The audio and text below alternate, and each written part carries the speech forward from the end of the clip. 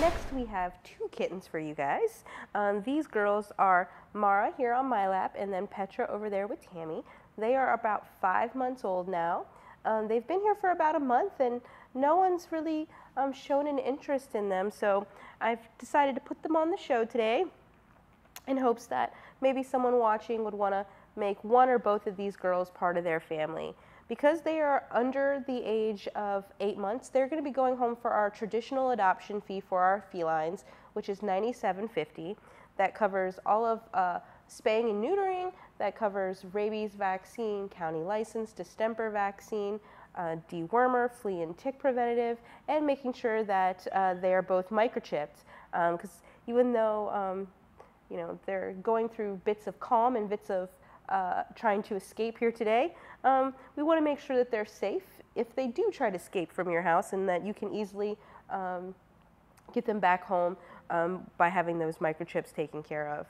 These girls um, are very active uh, in their cages. They go through like the typical kitten where they play hard and then they sleep hard.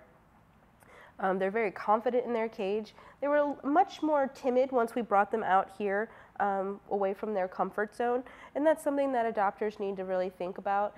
When you take them home, you're going home, but they're just going to another strange place with people that they're not really very familiar with. So it is going to be an adjustment period for them. It's not going to be instantly comfortable because to them, when they've been living here for a long time, this is their home. This is where they feel comfortable and safe, and we are their family. Um, so just being patient with all of the animals that you would adopt. Um, from whether it's our shelter or another shelter or rescue, just because they're adjusting and learning to be part of your family. Um, these girls are um, very sweet. They are kind of settling in. They definitely have a curious side, um, trying to uh, climb the chairs a little bit. So when you're taking kittens home, another thing is that it's going to be up to you to properly train them and show them the boundaries and the behaviors that you want from them. So working with them, um, making sure that they um, aren't scratching furniture, climbing curtains, the back of your couch, um, you know, jumping on countertops and things like that. And those are all things that we can talk to you about uh, during our adoption interview process.